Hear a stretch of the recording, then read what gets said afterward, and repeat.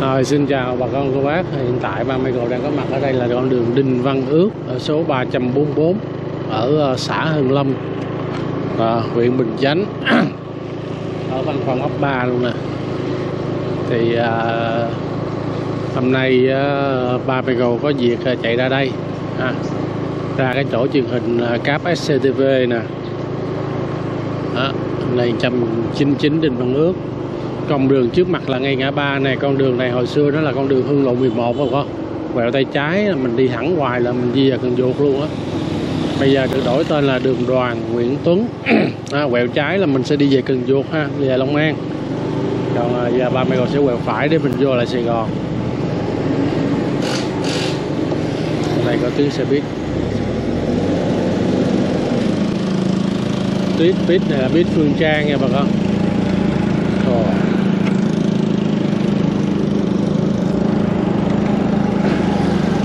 Số 9 à, bà con bác thấy xe buýt đó đi hốt rác đó là xe đó là xe loại lớn nha bà con. À, ba mươi sáng nay 30 gồ thấy là như là thành phố Hồ, Hồ Chí Minh mình là bắt đầu là đang ờ, quyết định là khó cũng phải làm về vấn đề mà mấy cái xe vận chuyển rác mà mấy cái xe thô sơ đó bà con.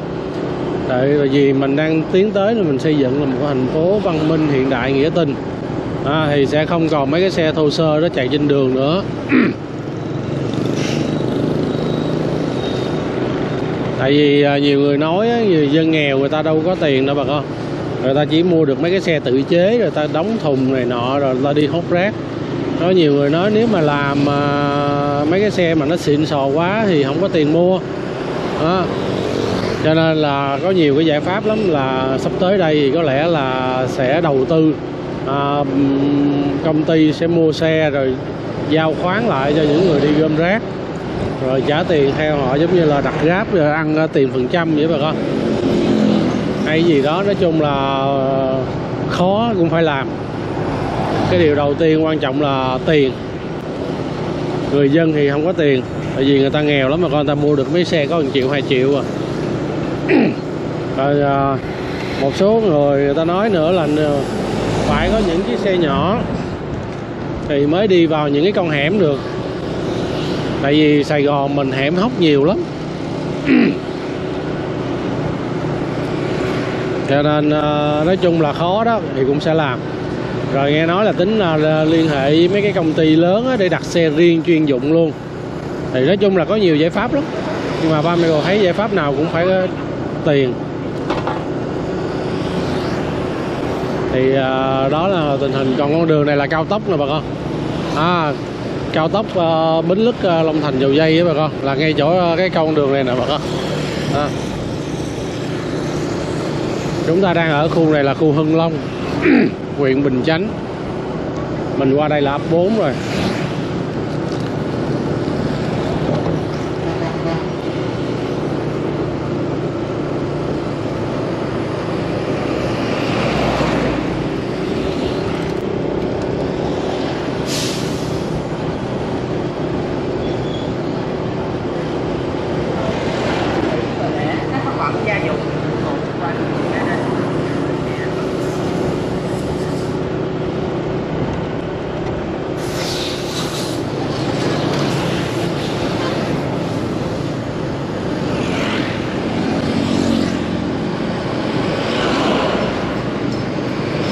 Mình đi tới đây là chợ Hưng Long rồi nè bà con.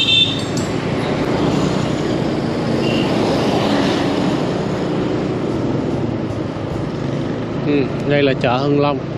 Hình như đây là ráp danh giữa Long An với ờ, Bình Chánh đó bà con. Ngay chợ Hưng Long này là ráp giáp ranh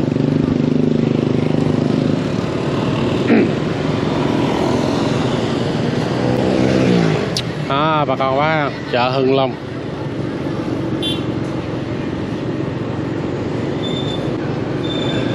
Mình chạy dạo một vòng ha bà con ha? Coi cái chợ Hưng Long này nó bự không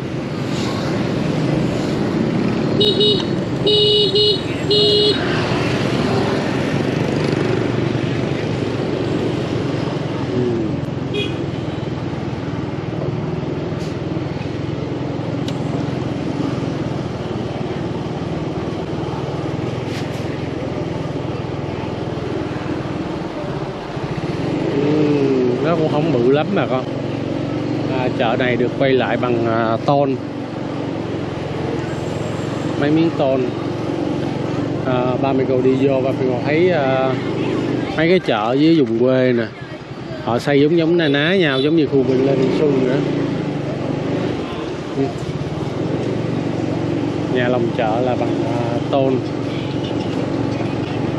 Ồ phía trước thì không thấy ha cái phía sau này thấy quá trời nè à, chợ Hưng Long.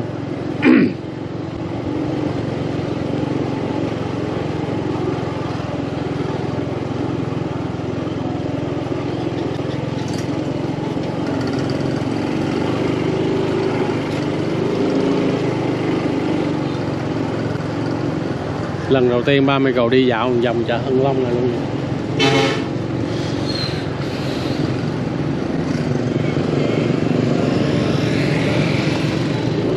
Con đường bên kia là con đường Hưng Long An Phú Tây á bà con. Quẹo tay phải này là mình sẽ đi tới cái khu mà rạch già đó. Khu di tích rạch, rạch già. Còn đây là khu công nghiệp Hải Sơn nè. Đó qua bên đó là thuộc về bờ Long An rồi đó bà con. À, mày còn nhớ hồi xưa đó ngay đây là lúc mà cái thời dịch đó bà con là lập một cái dập uh, ờ, trạm kiểm soát giữa thành phố với lại Long An ngay tại, tại đó đó.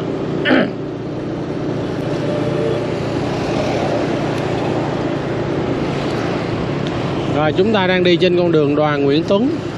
Hồi xưa là hương lộ 11 Cái cầu này là cầu à, Cầu này là cầu gì đây? Không biết. Không biết cầu gì. Mình sẽ đi khám phá nha bà con. Đi vòng dưới chân cầu bên đây thử coi. Ở đây có cái à, à bên đây là Tân Quý Tây rồi.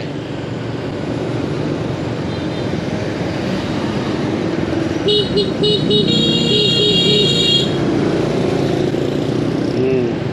ở đây có cái trường Tân Quý Tây nè, trường cấp 2 ừ. con đường này ba mươi cầu chưa đi lần nào luôn nè bà con giờ mình đi ấp 4 ấp văn hóa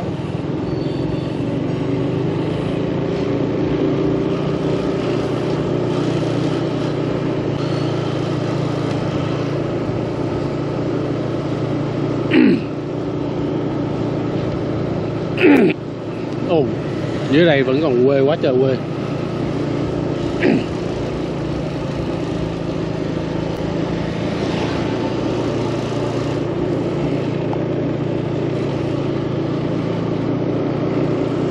Rồi, dưới đây là đúng nghĩa là quê luôn bà con.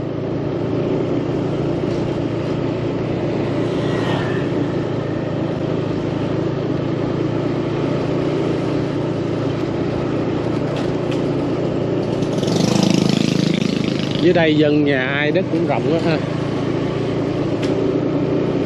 Đó, Mấy căn nhà thường thường vậy cũng rộng quá trời Có còn mồ mã nè bà con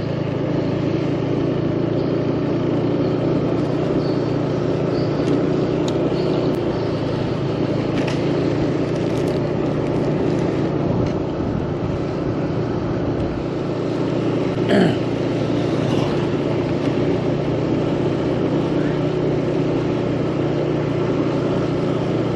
này đất trống còn còn nhiều quá.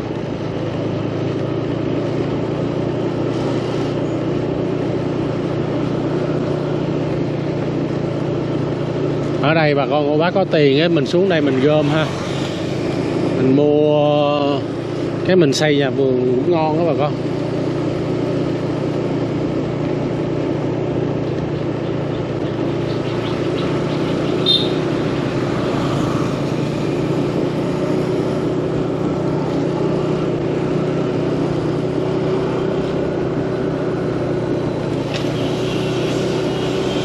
Trời ơi, đất đai bạc ngàn luôn rồi bà con. Ừ. Khu này đất trống còn nhiều quá.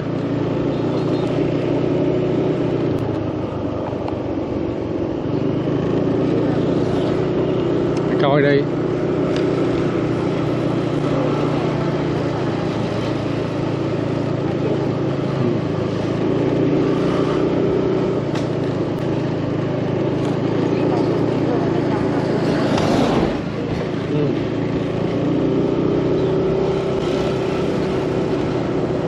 Ba mẹ cũng không biết con đường này nó đi ra đâu. Mình cứ đi nha bà con.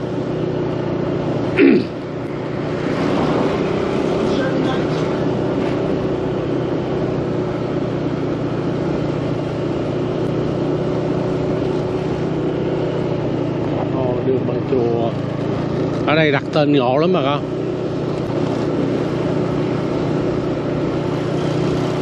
Mình mới đi ngang qua con đường bờ chùa ủa, nghe đường bà chùa cũng quen quá ha.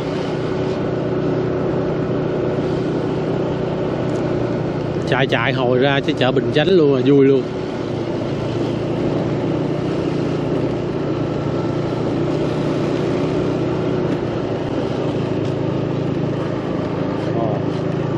Trời ơi, đây biệt thự bỏ quan nè bà con. Ngay cái cổng đi vào mà coi như là cái đất của người ta đó à người ta rào đất lại hả? Ồ tưởng bỏ ra ờ. Cái cổng người ta rào lại mà người ta không đi vô nổi cỏ mọc che lấp cái cổng luôn á. Ba mẹ còn tưởng biệt thự bỏ, bỏ hoang. thôi không có rẻ đâu.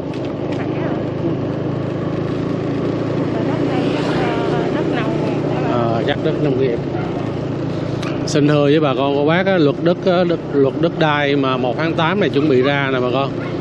Là ba mẹ cô thấy là sắp tới đây là chống có cái luật mà gọi là sẽ không còn không biết là còn không tại vì đất này Đó. đất này nè bà con thấy không? Không biết là đất ruộng hay đất nông nghiệp mà để bỏ hoang không có trồng trọt gì nè. Thì sắp tới đây là ngày 1 tháng 8 là, đó bà con cô bác xem kìa. Trời ơi đó. Bao dầu bao rồi đó mua mua rồi rồi quay lại luôn rồi đó. Nhưng mà không có xây gì bên trong hết. Thì sắp tới đây mà những cái đất hoang như vậy bà con, mà đất nông nghiệp mà không có trồng trọt gì là nhà nước thu hồi lại nha bà con.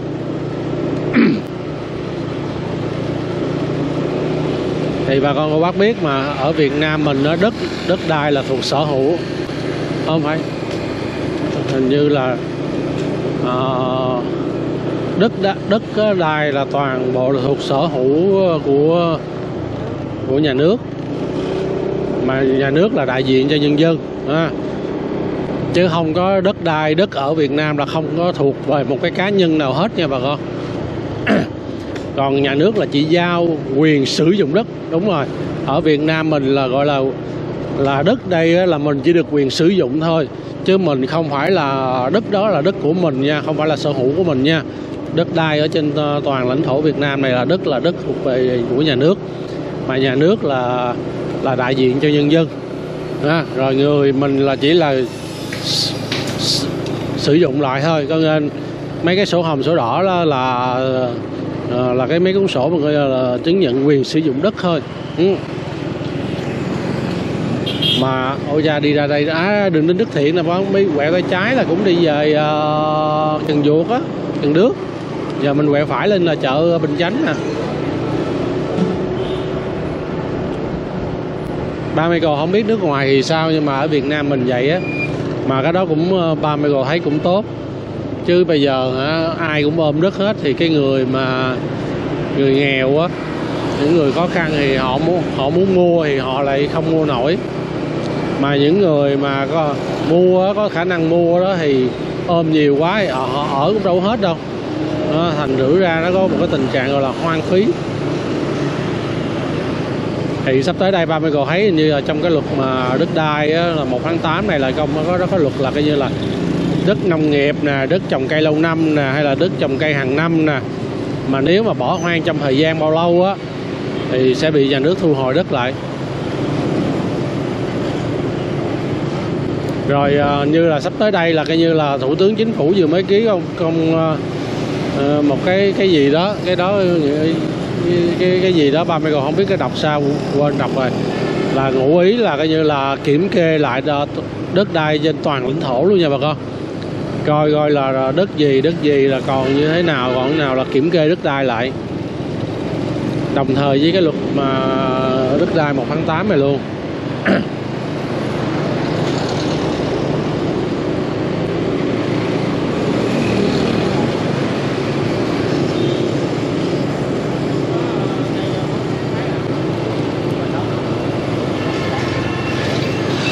Rồi thêm một cái nữa là hình như là bây giờ sắp tới là coi như là dẹp luôn nạn cò nha bà con. À, bà con cô bác thường hay thấy là mấy cái cò đất cò đai cò nhà đó ai có một thời gian mà con cô bác thấy không? Ai cũng là cò ai cũng là người ờ, đi bán đất. Một cái bà bán rau cũng có khả năng đi bán đất bán nhà. À, giới thiệu gọi là môi giới đó bà con. Mình thường hay gọi là cò đó cò đất đó, cò nhà đó thì sắp tới đây là theo luật là xin thưa bà con cô bác là không còn có chuyện mà cò cá nhân mà đi ờ, mua bán đất đâu nha bà con. Tất cả đều phải được thông qua một cái doanh nghiệp ha và phải có hợp chứng chỉ uh, chuyên viên bất động sản đàng hoàng nha bà con chứ không phải là ai cũng có thể ra bán được đâu nha. À, tại vì cái tình trạng mà ai cũng có thể làm cò đất kiểu đó, đó nó gây ra những cái tình trạng sốt đất sốt ảo nhiều thứ lắm. À, bà con cô bác từng mà đi mua nhà rồi bà con cô sẽ thấy cái cảnh tượng. Cò coi như là làm giá thấy ghê lắm. Vừa làm giá người bán mà vừa làm giá người mua hoặc là làm giá cả hai luôn. Rồi chưa kể nữa là đẩy tạo ra một cái cơn sốc sốc ảo. À, anh chị mua đi anh chị mua đi. Rồi bây giờ là có người đặt cọc rồi mà thực tế chưa có ai đặt cọc hết. À, rồi đẩy giá đất cái nhà không có kiểm soát được. Thì bây giờ sắp tới đây là coi như là luật ra đời á là muốn mua bán nhà thứ nhất là phải thanh toán bằng tiền uh, uh, tiền qua ngân hàng nha bà con. Cái đó để làm chi? À, cái đó là để chống cái tình trạng mà rửa tiền đó bà con. Hồi xưa mua đất mua nhà gì trồng tiền mặt không? Giống như cái thời đó xa xưa cái thời của ba Michael á mua nhà là trồng vàng nha bà con. Hồi đó mua nhà toàn là tính bằng vàng không?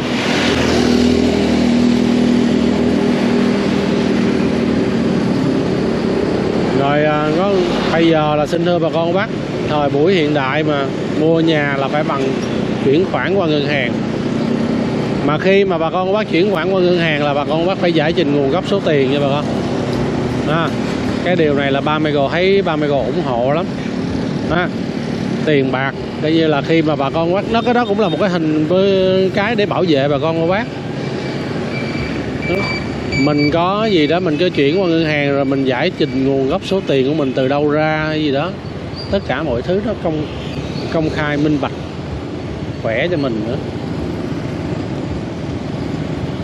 Chứ còn thôi là mình mua căn nhà mà mình không biết giải trình đó tôi làm gì được để có tiền để mua được căn nhà đó. Căn nhà gì đó cái chục cái trăm cả ngàn tỷ. Xin thưa bà con bác giá đất ở Sài Gòn đó, mà mày gọi thấy á, là mới đây, nghe nói là mới được cập nhật lại ờ, là sắp tới đây rồi. Nghe nói là hơn 800 triệu một mét vuông đó bà con. Ba cái con đường mà Lê Lợi, Nguyễn Huệ với Đồng Khởi á. Bà con bác thử tưởng tượng xem coi, hơn 800 triệu một mét vuông. Ghê không? Khủng khiếp. Một mét vuông 800 triệu 10 mét vuông 8 tỷ bạ rồi có 100 mét vuông thôi là thấy 80 tỷ. Khủng khiếp thiệt.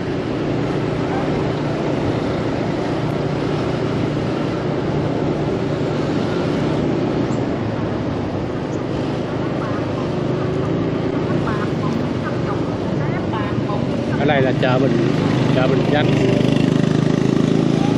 Rồi, mình đi tới đây là chợ Bình Chánh nữa nè bà con.